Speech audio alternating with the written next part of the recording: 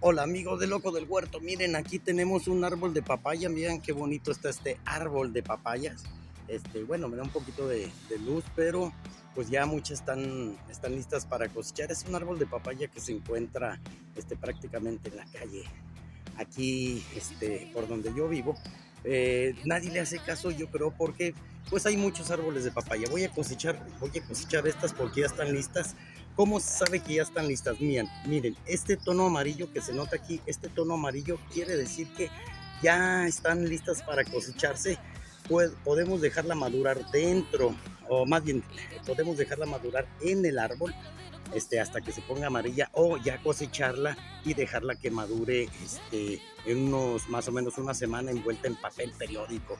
Así las hacemos madurar aquí o en un lugar calientito para que maduren rápido. Este color amarillo que se ve aquí es prácticamente eh, una indicación de que la papaya ya está lista para cosecharse. También esa papaya mini ya presenta un color amarillo, no sé si alcance a notar en la cámara, pero ya presenta un color amarillo y ya está lista para cosecharse. Ok amigos de Loco del Huerto, esto es todo y miren, mi papayota lista ya para ser cosechada.